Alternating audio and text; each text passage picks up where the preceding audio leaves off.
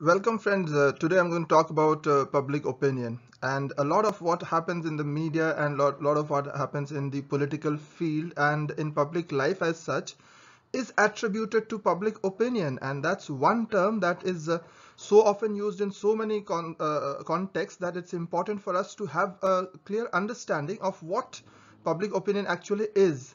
Is it just an aggregate of opinion of individuals or is it an objective fact in itself? And how have we come to the present uh, uh, uh, context of public opinion and how media plays such an important role in public opinion.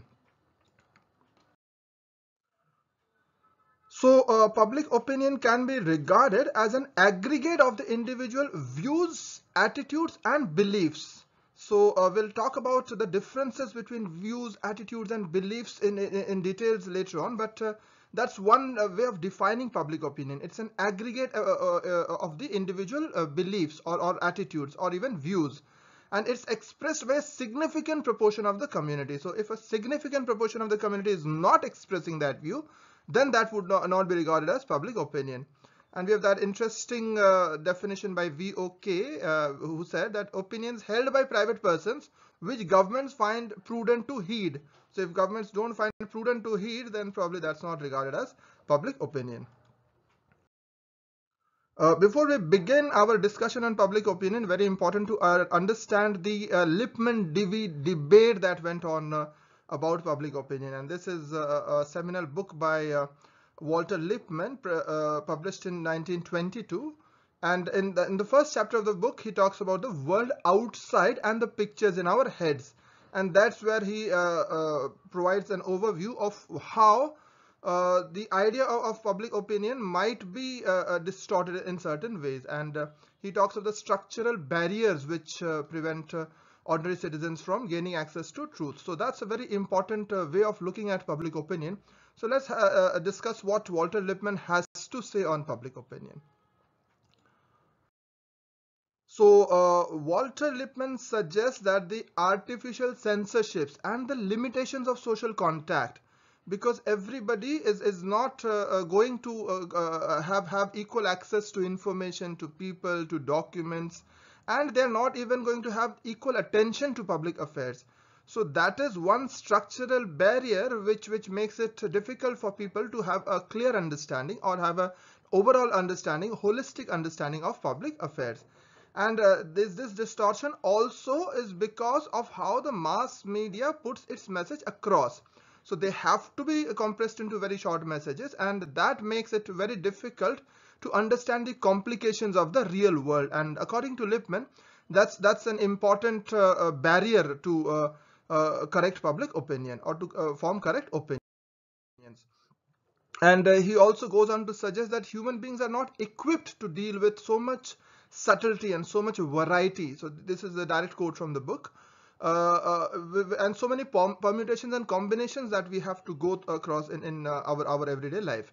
And that is why uh, we have to, uh, uh, you know, since we have to interact in that kind of an environment, we have to reconstruct whatever is happening in, in the real world into a much simpler model. And that is why he suggests that this, this makes it into a kind of a pseudo environment.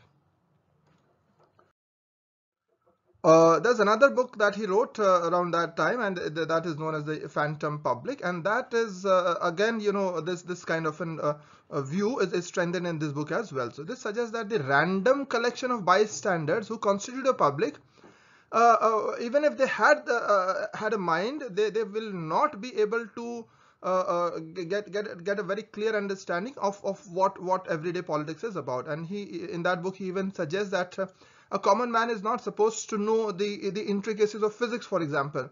So how and why should he be uh, uh, expected to understand everything about uh, politics? And that's where uh, uh, that's that's that it has it has had a lot of contention and a lot of debates uh, on that. That Lippmann suggests that the ideal is to leave this kind of, of, of opinion forming to more or less eminent people who have a clear understanding of what is happening so this is where he uh, uh, suggests some kind of proxy to a, a professional public. And uh, we'll see that that is what is known as democratic elitism, where intelligence is or, or, or decision making is not done by all the masses but towards a centralized body of intelligent elites and as we can understand on the face of it this this uh, this uh, appears problematic because we are not uh, uh providing that agency to uh, human beings. We are just providing it to certain class of people whom we assume will who are better equipped to uh, provide uh, judgments or to uh, provide in, opinion on important issues English jurist James Bryce, and he's a very popular historian as well uh, in, in 19th and 20th century, in late 19th century and early 20th century. He suggested that since people do not have the leisure or an inclination to arrive at a position on every question that, that concerns uh, the public, so it will not be proper to, for, for governments to uh, uh, have have their opinion on, on all issues. So as, as, you, as we can understand, we are just trying to uh, uh, kind of uh, give give a crux of the argument. This there's a lot. Uh, this is a lot more layered. But uh, he suggests that the government based on popular consent will give the nation very great stability and strength. But public opinion should not determine the details of policy. So we can see that is also one element of democratic elitism we see in this kind of an argument. Uh, this was uh, challenged by Dewey and uh, although there are a lot of uh, uh, similarities between Dewey and Lippmann's argument also but one of the important thing is that uh, the argument that uh, human beings are uh, passive spectators is, is, probably not correct. So the argument that everybody is passive and and it has to be an and representative democracy is is is not the right way to go about it. That is that has been challenged by John Dewey and the uh, suggestion is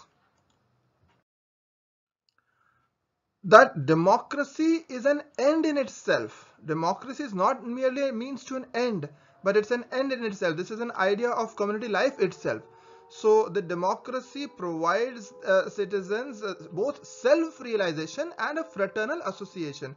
So the idea that uh, people do not uh, spend a lot of uh, cognitive effort in, in uh, making decisions is, is probably uh, flawed in, in John Dewey's argument. So uh, in early 20th century, there has been a lot of debate as we just saw in these three works just before.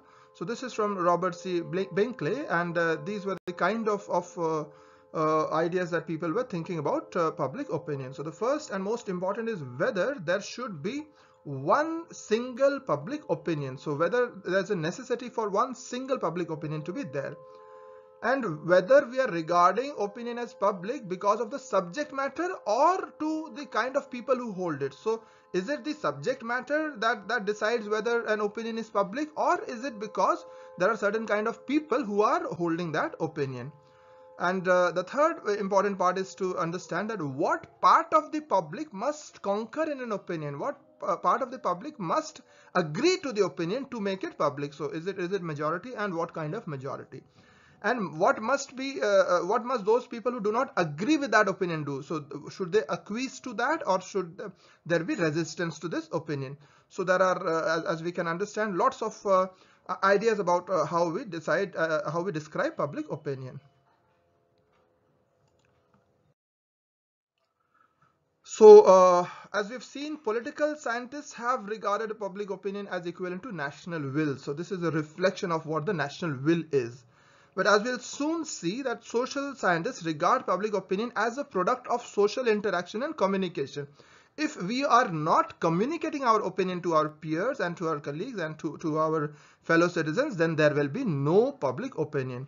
So unless uh, uh, members of the public communicate with each other, there is no uh, public opinion. So this expression of, of your uh, beliefs and your attitudes and values is very important for the formation of public opinion and for the realization of uh, public opinion. Uh, Irving Crespi uh, provides uh, the, these important standards for, for the public opinion process. So it, it's an interactive process. It is multidimensional and it is continuously changing. So we'll talk about uh, this factor of, uh, of uh, you know, whether it, perpetuates or whether this, this changes uh, at regular intervals. But firstly, there must be an issue. That's the first important point of public opinion. And there must be a significant number of people who have an opinion on the issue and they express their opinions on the issue that that's important so uh, just there's an issue and people do not express opinions then then there is no public opinion and some of these opinions must reflect some consensus. So people have all these opinions so there must be some kind of consensus in at least some of these opinions.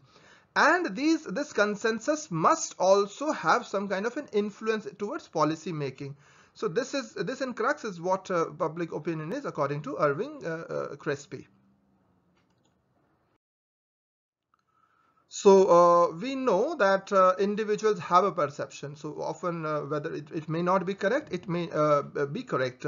So all, all of us do have opinions on certain things. So but when we talk of public opinion, it, it is it is it is regarded as something which is independent or something which is an objective social fact so when the media talks about public opinion, it is about an objective social fact or it's, it's something independent from, from what individual opinions are. So as I said earlier, beliefs uh, will not constitute a public opinion unless they are conveyed to others either through the mass media or social media or through phone or through computer mediated communication or through other conversations. So communication is very important for uh, public opinion to take uh, shape. So uh, now it's important for us to find out what an opinion is. So uh, we we know that opinion is a statement of preference. So we uh, when we say that we have an opinion, uh, we, we suggest that we have a preference for one side of an argument or one of, of the choices which is presented to us. But at the same time, there's a there's a thinking process goes on. So it's, it's a cognitive process, but we also judge according to our values, according to our beliefs and, and so many other things. And we evaluate those opinions. Uh, so it has a specific character and and uh, and a person can have many opinions on different topics without any uh, necessary cohesion. And it's also provisional because our opinions keep on changing. So we're saying that opinion itself is, is, is a multi-layered co uh, construct. And uh, there are many things which determine how how we form opinions on a given issue and and whether that opinion stays with us or not so we've already discussed the importance of the environmental factor. So that's one factor, your uh, political, social and cultural environment that decides uh, uh, what kind of opinion we might have at that point of time. Of course, mass media has a very, very important role to uh, play in the public opinion process and we'll talk about the impact of uh, mass media or the influence of mass media in our everyday life. Uh, there are interest groups uh, at certain places and uh, they, they are, are capable of influencing opinion at uh, one point of time or, or to a certain kind of people or to a certain group of people. So interest groups are also an important factor that influences uh, public opinion. Then of course there are influence opinion leaders or influence influencers as we say these days who, who determine how public opinion is, is formed on certain issues and there are uh, complex uh, uh, cognitive and, and psychological and all these issues uh, uh, which which uh, help us form opinion at that point of time on a given issue. So there are multiple factors and, and they might be working at the same point of time in the same on the same issue or with the same person. So so there are quite a number of factors which influences public opinion so opinion uh, vary uh, in strength. So there are certain opinions uh, uh which we, which we strongly hold on to, or or uh, there are certain opinion which uh, which we, we correct when we get more information on that. So when we aggregate this and you know when we aggregate this opinion, then we are talking about some predominant leaning or, or sum of views of the population. So when we aggregate the opinion, that's when we talk of public opinion. And uh, this is from Alex de Tocqueville, and uh, he suggests that once an opinion has taken root among a democratic people and established itself in the minds of the bulk of the community, it afterwards persists by itself and is maintained without effort because no one attacks it. And as we said at the beginning, this is what happens when we talk of uh, public opinion because it, it has a uh, uh, has an objective value. It is accepted as a social fact because everybody has acquiesced to it or everybody agrees about it. So that's a very important uh, uh characteristic of public opinion that it uh, it perpetuates by itself. So uh, now we uh, talk about uh, the attitudinal systems in human beings and we've already spoken about how uh, values and interests and how knowledge and belief and how our feelings and behavioral interests contribute to forming of opinion. So it could be, so these are very different terms. So, so, so a value, for example, could be a strongly held belief and knowledge and belief is, is, is, based on evidence and feelings are, are, are, are our affective responses to various uh, information that is uh, uh, provided to us and it again depends on on on the different mechanisms we go for for understanding about about uh, various situations and also uh, our uh, inherent beliefs about certain things so for example we have this confirmation bias where we if, if, something does not conform to what we already believe in then there is a resistance to that kind of an information So uh, attitudes are, are valuations and attributions made by individuals. So when we're talking of uh, public attitude, we, we uh, talk of uh, it in, in, in, a group or aggregate and we'll just see that opinion is often uh, referred to as an, a public expression of these attitudes. So public opinions are basically verbal expressions of these underlying attitudes and measurement of opinion uh, might uh, uh, provide us an insight into attitudes. We'll talk about opinion polling at the end of uh, today's presentation and there we'll find out how uh, these uh, opinions are measured or how, how they are polled.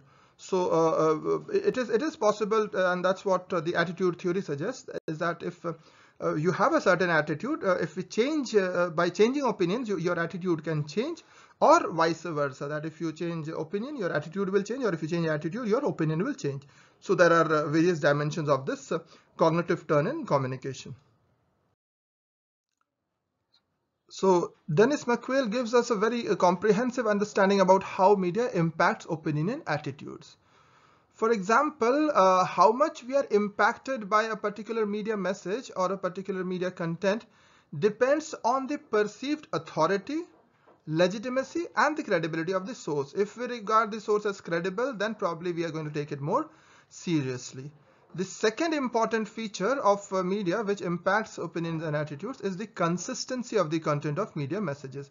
Whether they are co consistent, whether they are repetitive, whether they are uh, uh, bringing us a, a, similar kind of information in various ways. So that's a, another uh, factor that determines the impact on opinions and attitudes.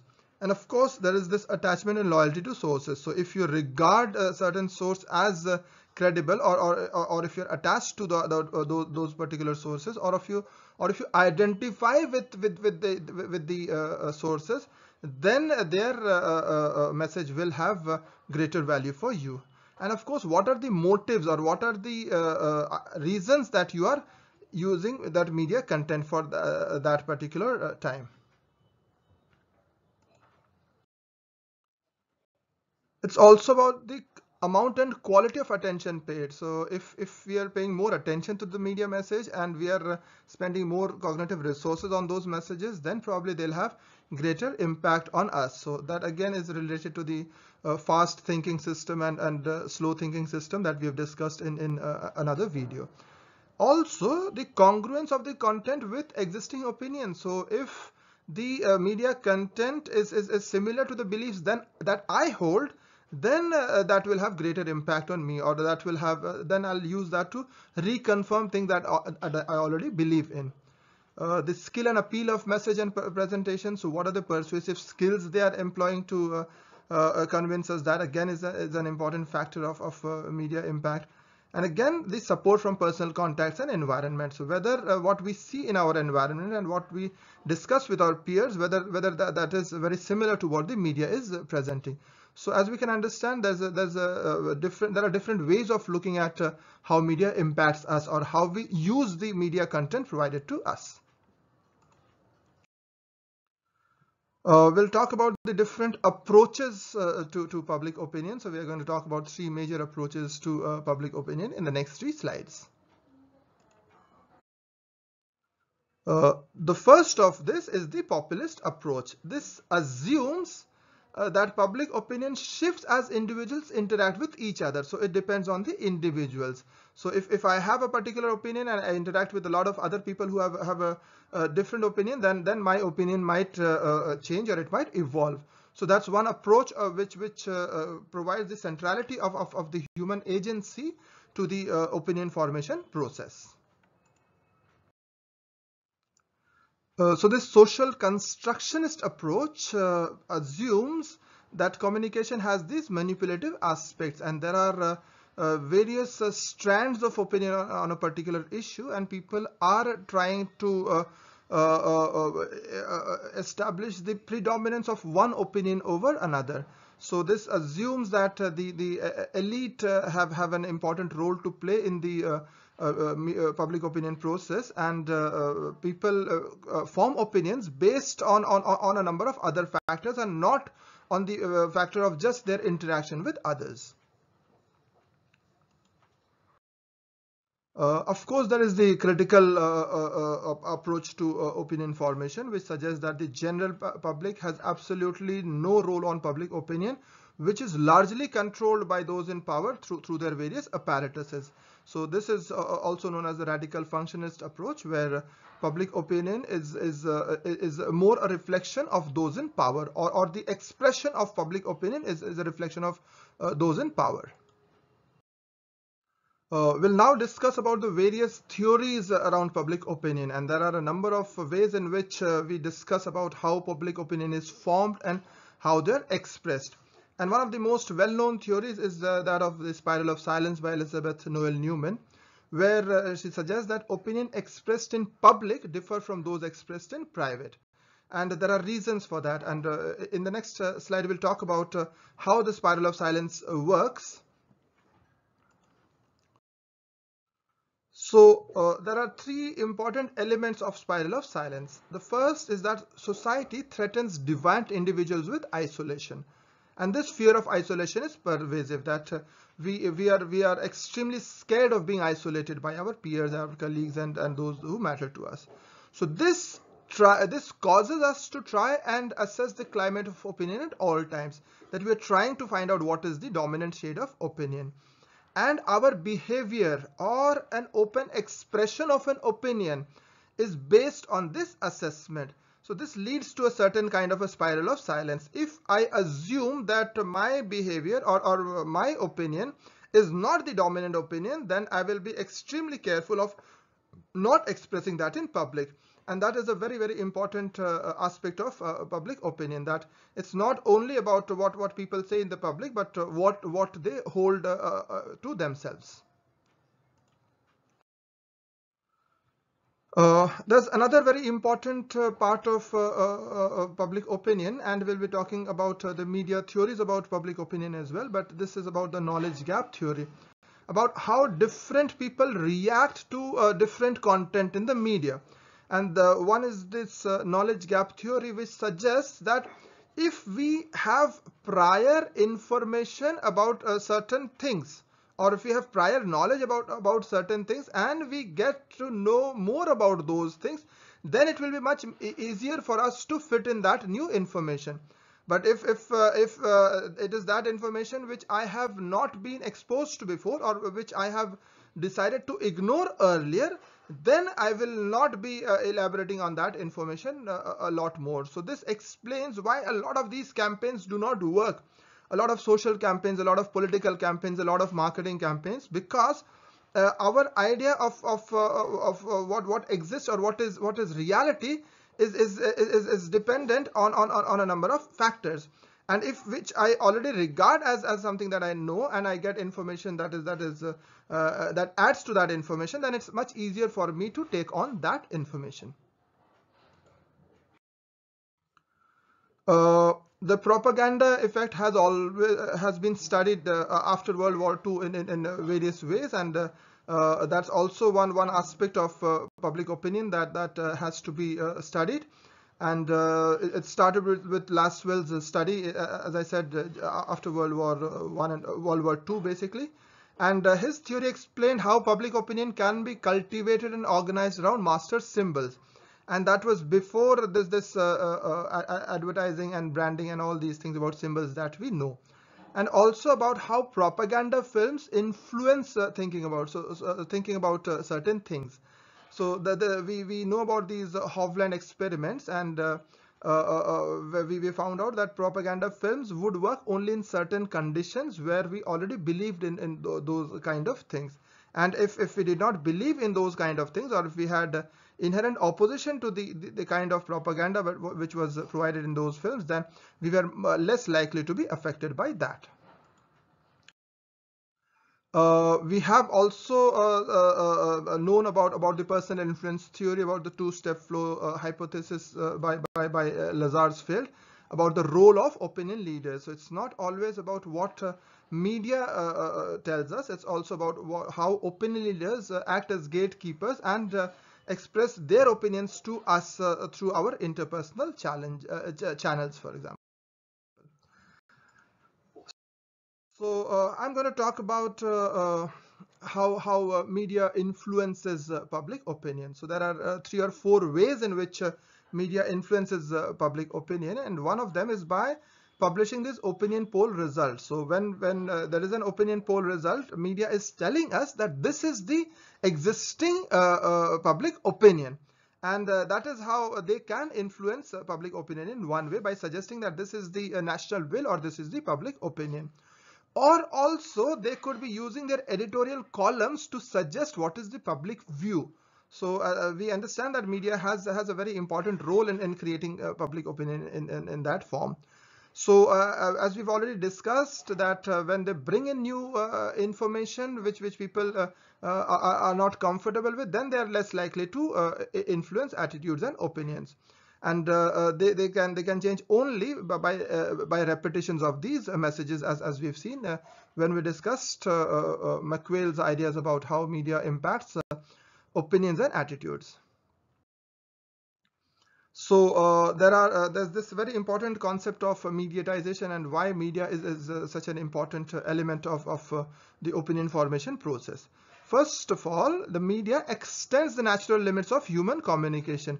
So uh, it's not just related to how and what I communicate with my fellow beings, but it, it's also about what the, the media discourse is and often the media substitute the social activities and social institutions. So a lot of uh, uh, activities we, we uh, just see on, on uh, uh, media and, and we uh, participate in that vicariously. So, so it's a substitute for a lot of these social interactions. They also amalgamate with various non-media activities in social life. So even our non-media activities, they have a media element about what media has to say or, or what, what is it that the media regards as, as dominant and not dominant or as proper as a not proper. And uh, the the uh, actors in, in in the society they are also uh, influenced or impacted by what is known as the media logic. So there are there are uh, these elements of mediatization that that we must be clear about and of course, there is this uh, uh, idea of, of, the public sphere where uh, it's, it's, it's, an idealized public space where, where uh, citizens they voluntarily and autonomously they get together to discuss on issues of uh, uh, public interest of of general interest. So that is uh, one idea about public opinion where uh, people get together on, on a public space and it's it's the strength of their argument which helps them build up what what is the right public opinion or what is the over what is the general will of the people. Uh, agenda setting, of course, is a very, very important aspect of media and it uh, uh, uh is, is, what uh, gives media uh, most of its power about because it tells us what to what to think about.